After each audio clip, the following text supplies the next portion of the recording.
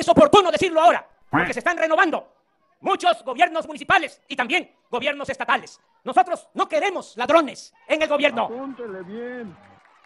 Ojalá y los presidentes municipales que van a entrar a cumplir con su función actúen con responsabilidad y con honestidad. Y así les vamos a entregar a ellos los recursos para que ellos hagan las obras. Eso sí, si vemos que no se aplica bien el presupuesto, entonces vamos a aplicar muy bien la ley. Vamos a dar manicure a que le vayan creciendo las uñas. Vamos a darle manicure, pero con hachuela. No debe de olvidarse, el poder solo tiene sentido y se convierte en virtud cuando se pone al servicio de los demás.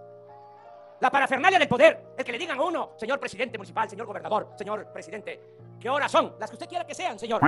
Eso, esa lambisconería, esa vanidad, no tiene nada que ver con el poder, no tiene nada que ver con la política, no tiene nada que ver con el servir a los semejantes, con servir al prójimo. Para ser político y para aspirar a un cargo de representación popular, lo que se necesita es tener buenos sentimientos, se necesita querer al pueblo y se necesita ser honesto y se necesita ser humilde. El poder es humildad. Vamos hacia adelante a transformar a México y a seguir transformando a mi pueblo, al pueblo de Veracruz.